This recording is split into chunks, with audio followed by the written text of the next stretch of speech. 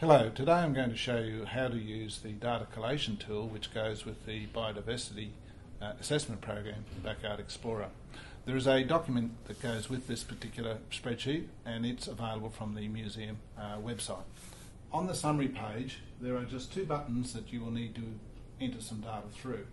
There is the school button or community button and here is where you will put in things like the school name, location, who the teacher is, what their class is, and the names of the groups that you're going to use for your particular study. The second button that you will use is the abiotic button, which is where you will record some of the abiotic conditions uh, that you've actually assessed uh, during your study. Once you hit the update button, it will be automatically entered into the spreadsheet in the appropriate cells. School data sheet is not one that you would normally have to edit or change because this data is entered directly from the school form on the front sheet.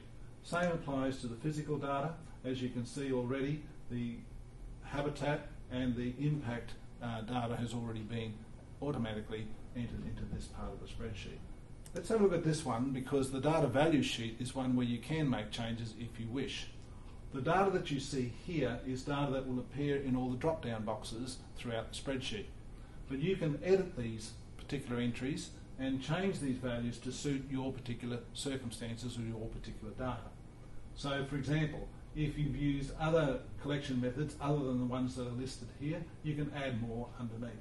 If you find that you're finding animals that are not listed, then you can again add them by putting their common name into, say, this cell and then the order name uh, across into this cell.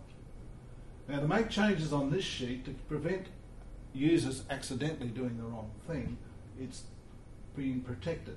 So to change the protection, you need to go to Tools, Protection, and then unprotect the sheet. Once you've done that, you can make changes, but just remember when you're finished to protect the sheet again so that users can't accidentally make changes to this part of the spreadsheet. All that has to happen from here is that the different groups who have been accessing data need to enter their data. Now, there are 10 different sheets, all identical. Once the data is entered into the individual sheet for each group, it will then automatically be summarised onto the front page. So the first point of data that they need to enter is what is the collection method that they've used. It might be beating, 10, let's say, they've counted, of bugs. Over here, this column is, is optional, and from there they decide what type of um, mouth parts once that's done, you'll notice that the first data entry point has been entered. Over here on the right, there is a graph which is automatically being generated. Now I'll put in another data point or two just to show how that builds as we go. And it might be that we've found five spiders.